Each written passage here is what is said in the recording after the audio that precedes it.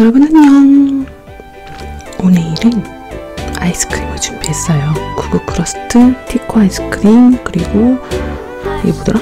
몰티저스 그리고 구슬 아이스크림 준비했어요. 음, 오늘도 맛있게 먹겠습니다. 구슬 아이스크림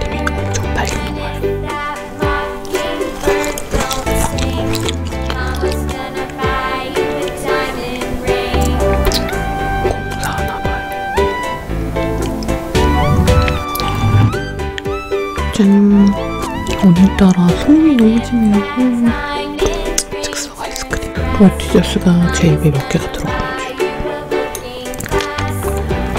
왜 하나 있다요? 하나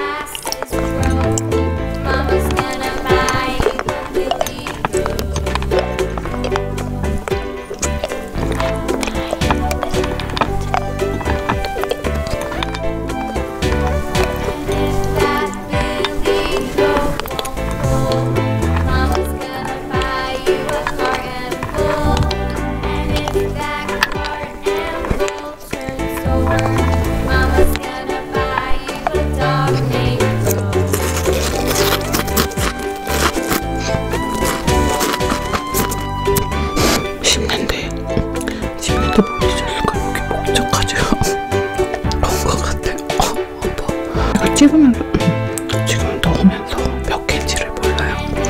그럼 편집할 때 보면 알겠죠? 궁금하네. 입에 몇 개가 들어갔는지. 입속에 몇 개가 들어갔는지 진짜 궁금하네요. 이렇게 너무 단거 많이 먹으면 안 돼요.